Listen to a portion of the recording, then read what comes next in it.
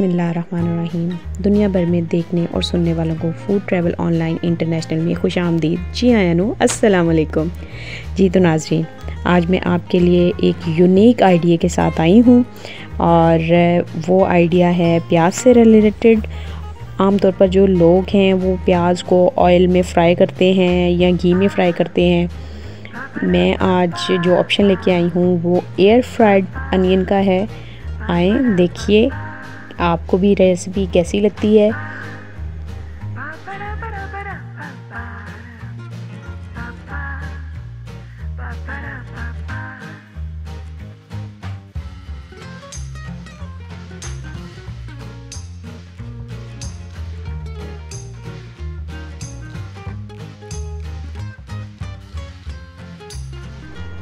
मैंने छः से सात मीडियम साइज़ के प्याज लिए हैं। इनको अब मैं चॉपर की मदद से बारीक चॉप कर लूँगी और आप हैंड स्लाइसर का भी यूज़ कर सकते हैं इसके लिए।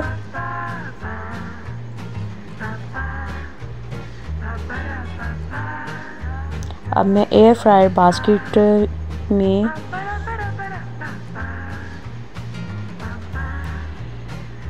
एयर फ्रायर लाइनर्स का यूज़ कर रही हूँ। एयर फ्रायर की जो बास्केट है, उसमें उसके सरफेस में आप डायरेक्ट चीज़ ना डालें, उसको क्योंकि क्लीन करना ज़रा मुश्किल हो जाता है तो आप लाइनर्स का यूज़ करें। ये इजी टू क्लीन है। मैंने अनियन ज़रा ज़्यादा ऐड कर लिए थे, आपको मैं ये सजेस्ट करूँगी कि आप थोड़े डालें और खुले खुले डालें, ताकि इक्वल कलर आए अच्छा कलर आए रिज़ल्ट अच्छा मिले। और अब मैं इसका टेम्परेचर सेट करूँगी। अब मैं इसका टेम्परेचर सेट कर रही हूँ। और इसको मैं लेके जाऊँगी।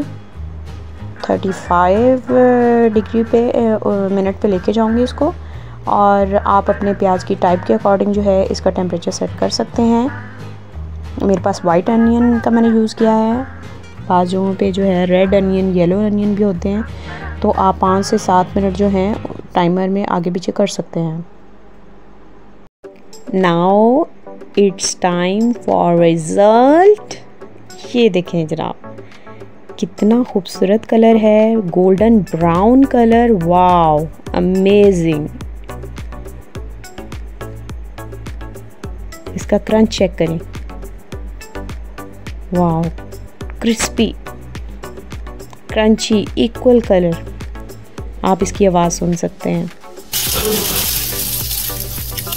आप इसका इस्तेमाल बिरयानी में, हलीम में और मुख्तु देसी खानों में कर सकते हैं। आप भी अपनी डाइट में हेल्थी ऑप्शन का यूज़ करते हुए कोलेस्ट्रॉल को मेंटेन रखने के लिए ऑयल फ्री और मिनिमम ऑयल का यूज़ करना चाहिए आपको। ये देखिए।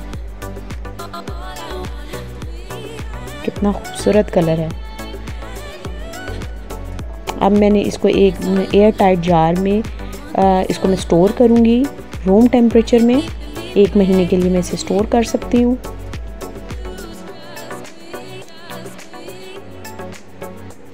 आप भी इसको ट्राई करें और मुझे कमेंट्स में ज़रूर बताइएगा कि आप नेक्स्ट टाइम जो है एक हेल्दी ऑप्शन का यूज़ करेंगे या ज़रा अनहेल्दी ऑप्शन को यूज़ करेंगे। थैंक यू फॉर वॉचिंग मेरे चैनल को सब्सक्राइब करें शेयर करें लाइक करें। थैंक यू सो मच अल्लाह हाफिज़।